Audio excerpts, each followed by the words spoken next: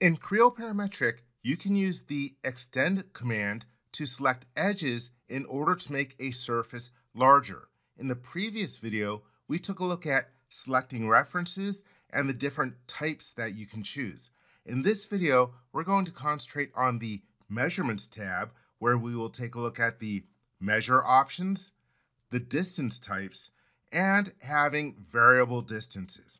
So first off, let me take my canopy model. I'm going to hide my copy geometry quilt. And I'm going to start off by selecting this edge in the model. And then from the mini toolbar, I could use the extend command. Be aware that the extend command is also available from the editing group in the ribbon. So I will click on extend. And here you can see that we have our distance that we can grab and we can move it along over there. I'm going to go to the measurements tab in the ribbon. And the first thing is this drop down list in the bottom left, which is really easy to miss.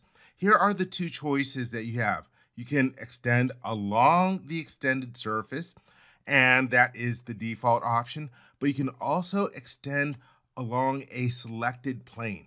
I'm going to turn on my datum plane display and let me rotate. Oops, accidentally hit the middle mouse button to complete the feature. Let me edit the definition of that. I'm going to collapse my model tree again. And so let me rotate the model a little bit more carefully this time.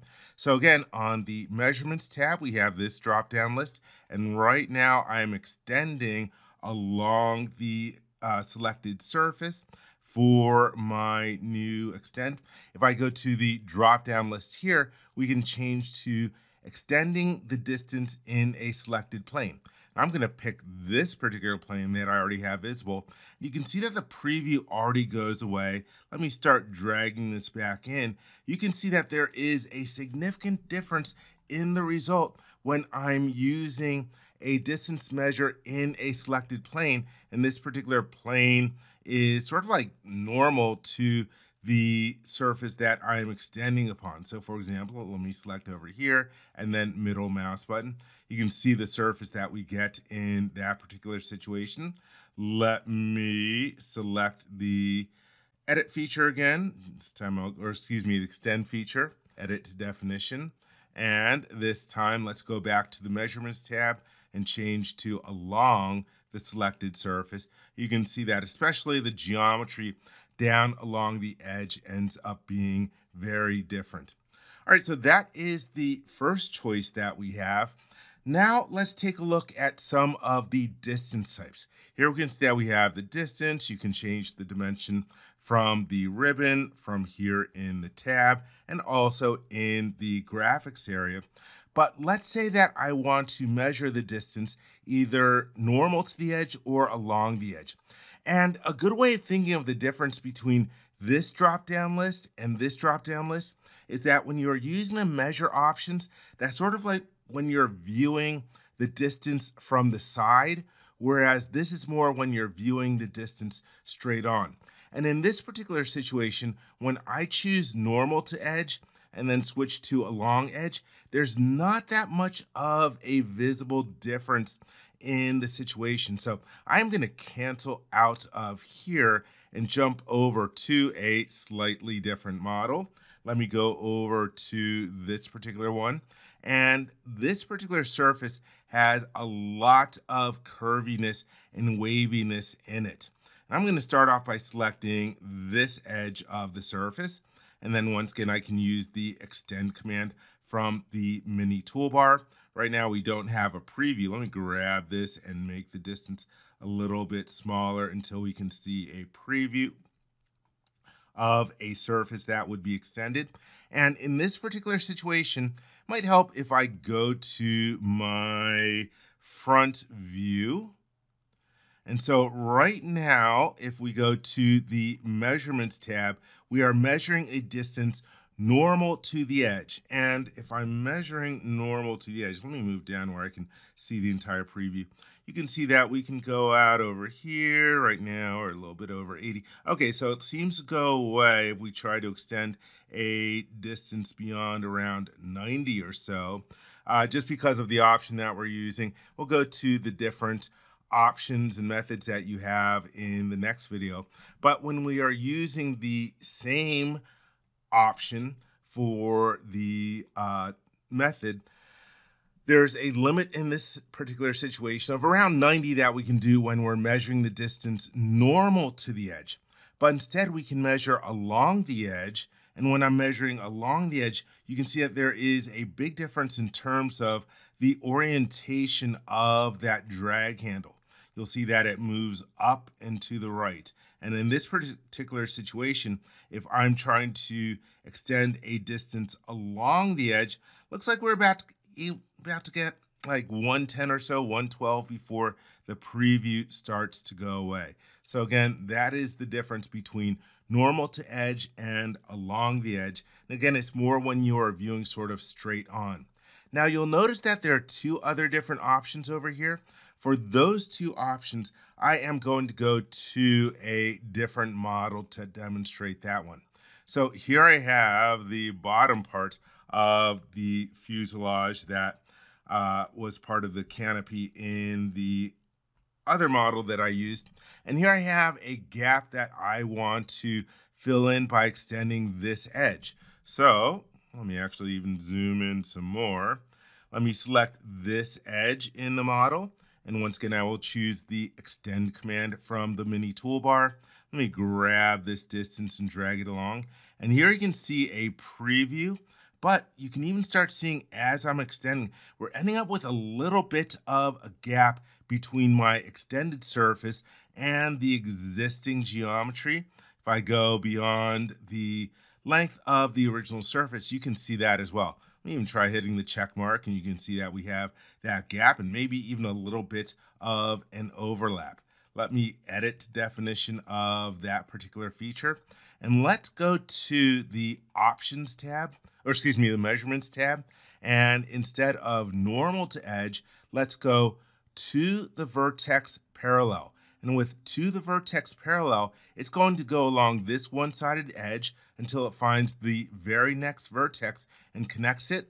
And it's going to make this side edge parallel to the original selected edge. And so if I middle mouse button to complete the feature, there you can see the extended surface, and there aren't even any patches in this quilt. Let me go back to the extend feature and then edit definition. And let's go to the measurements tab. This time I will go to the drop down list and instead of using to vertex parallel, I'm going to use to vertex tangent. And before I do that, let me zoom in right over here so you can see a little bit more detail of the edge that was generated with to vertex parallel. It actually extended this a little bit before it was able to make this parallel to the original edge. But if I change this from to vertex parallel to two vertex tangent, well, there is a big change to the shape of the edge. If I zoom out, it doesn't look that big, but when I zoom in, it does. And so it makes it tangent to this adjoining edge and it's not fully parallel to the original surface, or excuse me, the original edge down at the bottom. It is maintaining that tangency there at the interface between this side edge. So I can hit the check mark. And there we have our extended surface with that to vertex tangent. All right, so that is good for the different distance types. Now let's take a look at the third part of this video where we will examine some variable distances. So let me hop over to, oops, let me hop over to my first model that I was using. Let me grab that extend feature and edit its definition. And so let me go to the measurements tab I want to change this to along the surface and I am going to also change my references. Instead of just using that first portion of the edge, I'm going to use the shift key to grab this other little segment. And I want to use a big distance to start off with on this end. I'm going to use a value of 400. When I hit 400, the preview goes away just because I am using the same method. Again, in the next video, I will go into the differences between these four different methods. If I use tangent, it will be more forgiving me, forgiving and allow me to use that distance of 400. So that is good, but let's go back to the measurements tab. And with the measurements tab, you can also have different extension distances at different locations along those different edges. And so if I want to add another drag handle for the distance, all I have to do is right mouse button over this list, this little window here, and then choose the add button. And it gives me a drag handle. And by default, it is putting it 50% along the length of this particular edge. Be aware if I move it over close over here, it's not both references. It was just that first part of the one by one chain that it uses the length ratio for. If I grab this and drag it over to this edge, it is now using the length ratio of this smaller edge segment. But I'm going to grab this and drag it. Come here. Make sure I'm getting the drag handle and grab it all the way to the end. And so let me change this to a different value. Maybe at that vertex on the end, I want it to have a value of 280. And by the way, if you take a look in the measurements tab underneath location, here it says that it is located at N2. That's where that particular drag handle is. Okay, let's take a look at a second method of locating a drag handle. Let me hold down the right mouse button and choose add. And this time I'm going to grab this and I'm going to drag the drag handle and I'm going to let it snap right into that vertex. And you'll notice that the symbol changed from that circle to a diamond. And so it is snapped right into that vertex over there. So I could choose a different distance for this particular location. Let Me punch in a value of 360. And you can see how it is interpolating from one point to another in order to affect the shape along that extended edge. Okay, for the next one, let's actually take a look at using a length ratio. Let me hold down the right mouse button and I will choose the add button. And here I have it located over here. And I'm going to drag it. I'm to drag over to, let's use about over there. And so with the length ratio, what it's doing is it's taking this particular segment and it is normalizing it between zero at one end of the segment and one at the other end of the segment. Be aware again, like I pointed out earlier, this length ratio is not for the entire combined chain, it's just for this particular edge uh, that is part of the chain. And so I can double click on the dimension and change it. Maybe I want it 0.3 for 30% along the length of that particular edge and it's using a value of 360. Hey, once again, we can plug in a new value that we want to use. And so that's good for these particular four locations for my extension distance.